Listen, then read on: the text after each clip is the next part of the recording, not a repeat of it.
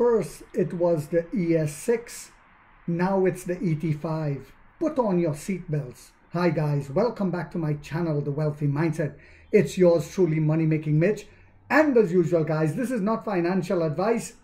Please do your own due diligence and research. To set the stage for today's video, take a look at this little clip and then we shall continue. However, this is the new NIO. Well, it's not called a NIO, it's called a Firefly because NIO, in all their wisdom, decided they needed three different brands.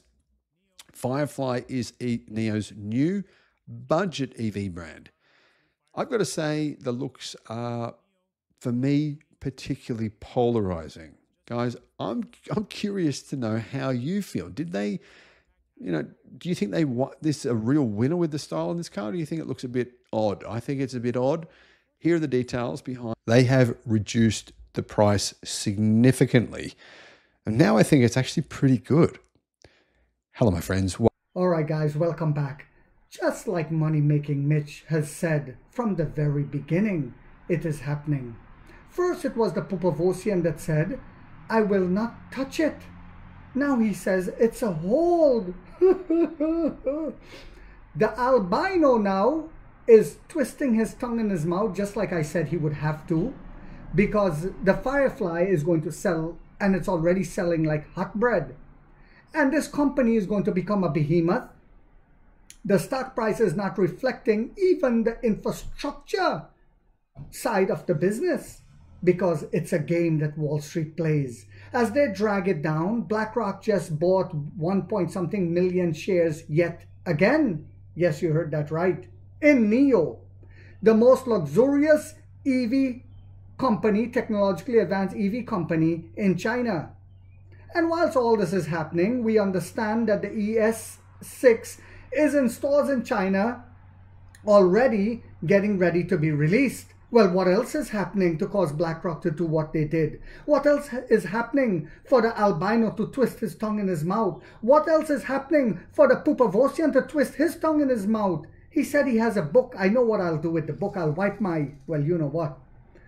Well, NIO has revealed the 2025 ET5 sedan. Boom! Introducing design changes, hardware upgrades, and cabin revisions as part of a broader effort to keep the model competitive in China's EV market. The updated version maintains the existing platform but, but incorporates adjustment to improve functionality and user experience. But wait till you hear the improvements. Wait till you hear the improvements. The front of the sedan features redesigned daytime running lights. Okay, that's nice. In a new parallelogram shape replacing the earlier boomerang style units. The headlights now uses LED matrix technology with a sharper trapezoidal outline. Okay, that's also nice. The bumper has also been reshaped with larger air inlets contributing to minor aerodynamic gains. That's also nice. Key structural elements like the panoramic glass roof, frameless doors, and flush door handles remain unchanged. Well, what upgrades are you talking about, Money Making Mitch? At the rear, a minor lip spoiler has been added above the light bar tail light. a significant change, mm -hmm, this is where it gets yummy. A significant change comes from the autonomous driving hardware. While the LiDAR sensor and cameras retain their placement, they now operate with NIO's in-house God chip. Boom! And we knew it was coming. Profitability will be sudden and massive with improved margins, which is based on 5 nanometer architecture. No more NVIDIA. Bye-bye, Jensen Huang. The new processor is designed to improve data processing speed and increase the accuracy of automated driving functions. Mm -hmm.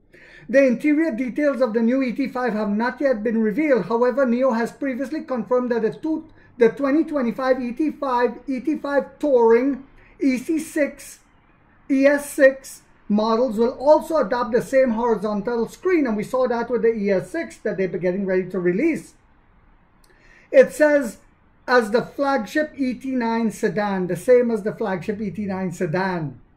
These models will also feature NIO's self-developed chips, self-developed chips, chips plural, and be equipped with the full capacity version of the SkyOS vehicle-wide operating system. Boom! And this is what I was excited about.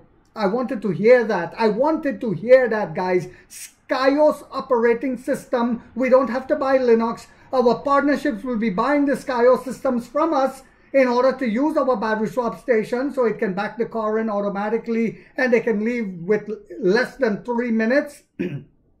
Huge revenue is coming. So whilst the negative Nancy's, the shorts pretend not to know, Wall Street pretended not to know, where is the revenue going to come from? It's not enough, enough deliveries. whilst we have our delivered Mercedes, uh, Porsche, BMW, and Audi combined in that price segment, we're going to do it again this year. And the sub-brands is coming to steal their lunch. The in-car AI assistant Nomi, yes, the same Nomi that they used to laugh at, has been revised to support more advanced voice interaction. And I suspect this is because of Qwen 2.5.